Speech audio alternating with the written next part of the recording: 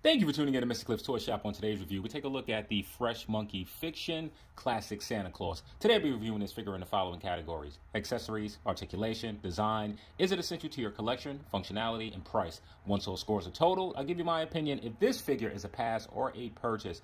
So, what a way for a new company to keep to schedule. Last year at this time, they said that this figure would release in December, and here it is Mezco Super 7.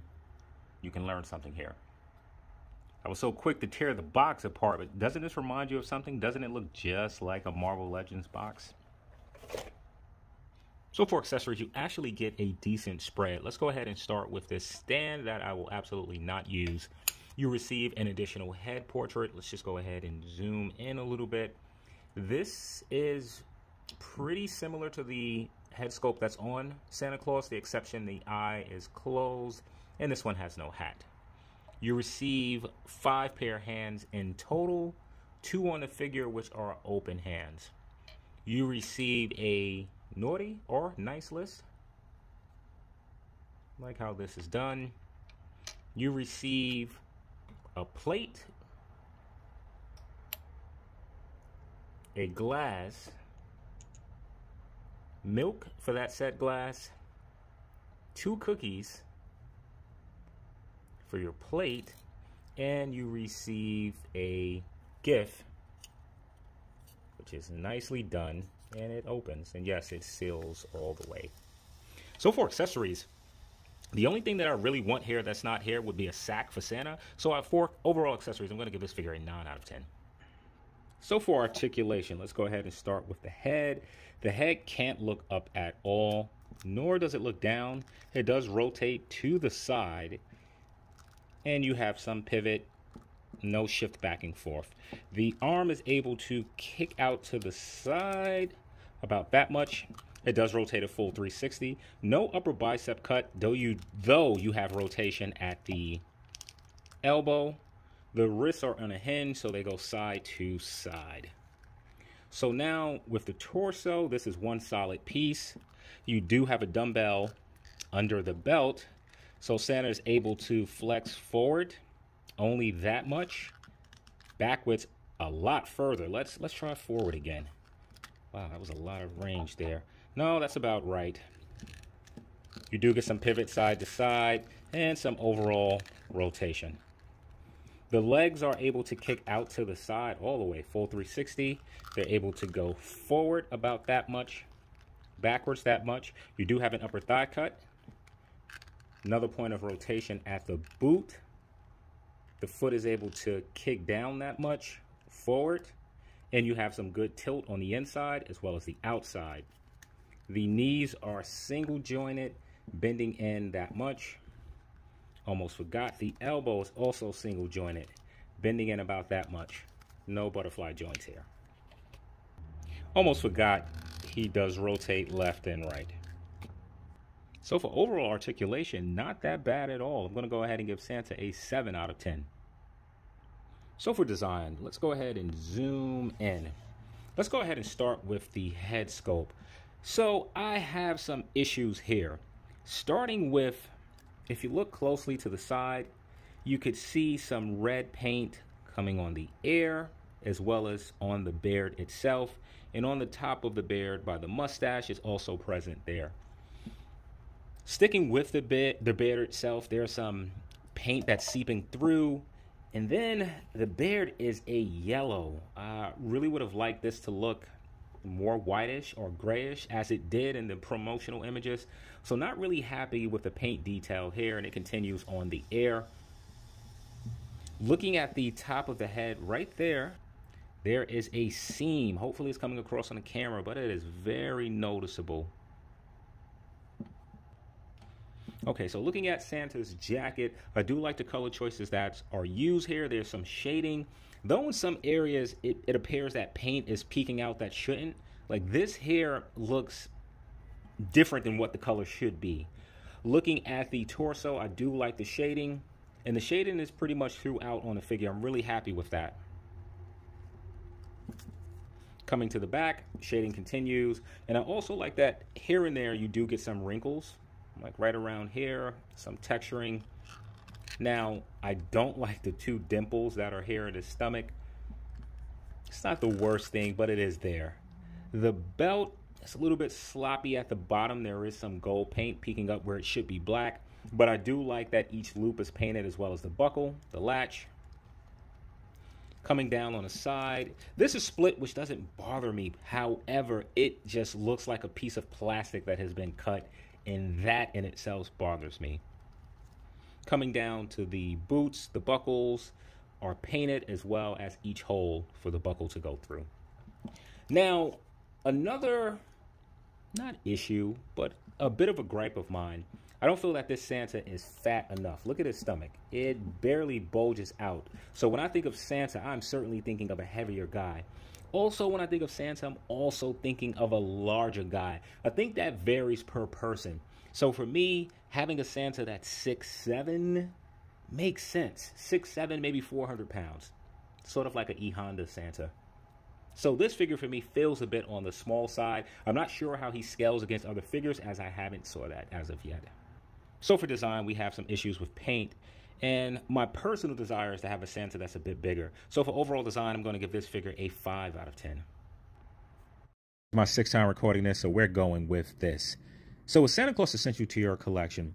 Well, let's take a look into the history. When there comes to Santa Claus, there's a lot clouded in myth and that which is clouded in mystery. So Santa Claus, also known as Kris Kringle, or better, Saint Nicholas, was actually a saint by the name of Nicholas, which lived on the earth in about the third century. Saint Nicholas was known for many generous acts and in some sort of form would morph into the version of Santa Claus that we know now. The name Santa Claus is actually Saint Nick's Dutch name, which is Sinterklaas.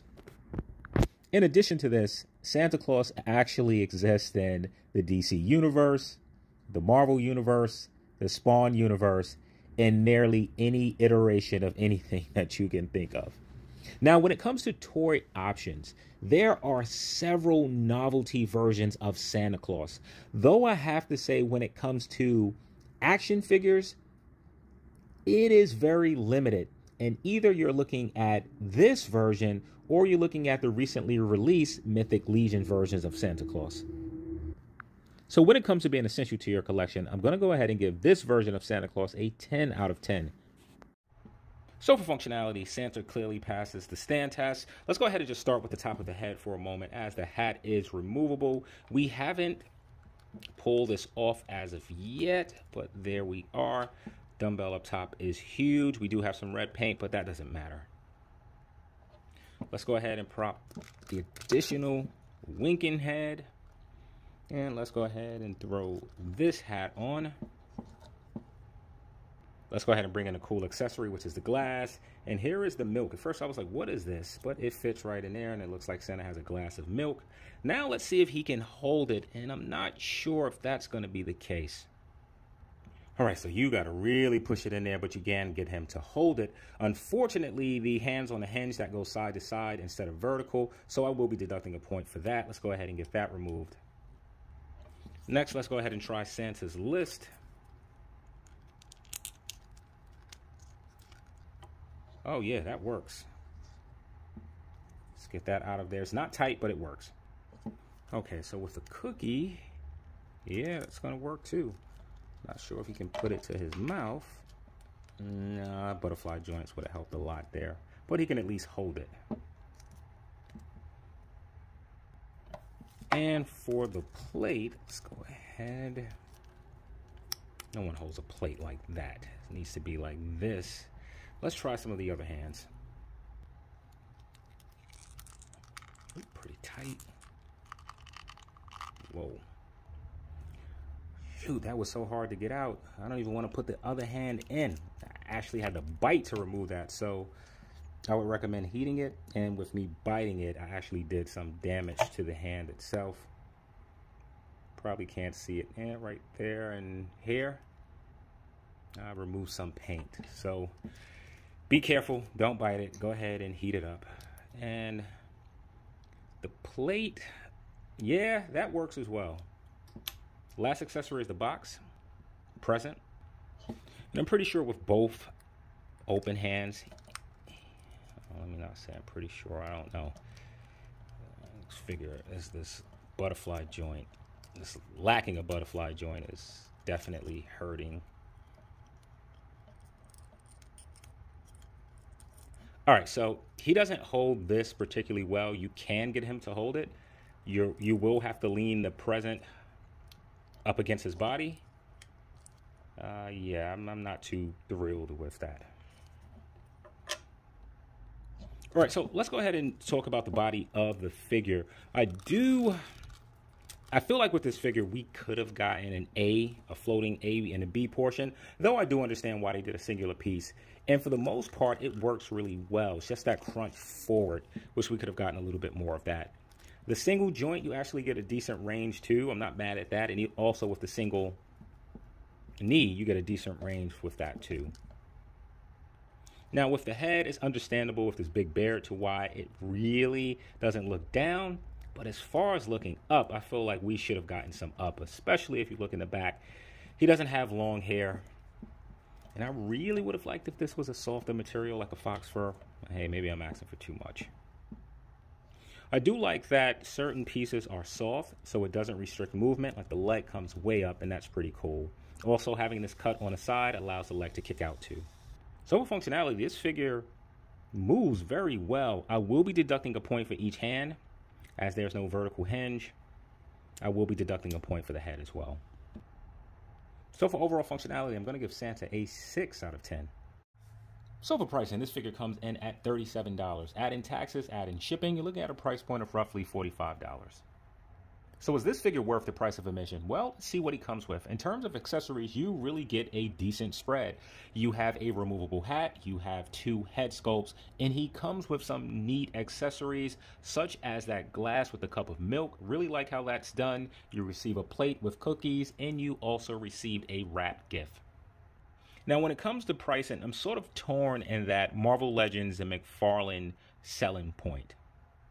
And while I'm well aware that this figure doesn't sell in volume to what Marvel Legends or McFarlane sells, I can't help but to think that McFarlane has figures that are much larger than this that are 20 bucks. In addition, this figure has a lot of reuse. If you're into this line, just mostly reuse. So for that, when it comes to overall pricing, I'll be giving this figure a 7 out of 10. That should give this figure an overall cliff score of. So now is this figure a pass or a purchase? When it comes to this figure, there's a lot to like. Let's just go ahead and start with the articulation and functionality. This figure moves well for what it is, and I really like the accessories that are included. And for those of you that want more accessories, such as myself, there are accessory packs for this figure. What I really like too, if you're not in tune with this particular version, there are several versions to choose from.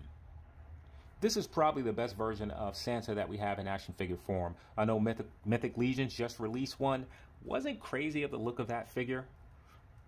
I much more prefer this. With all of that said, I'm going to have to say that this figure is a pass.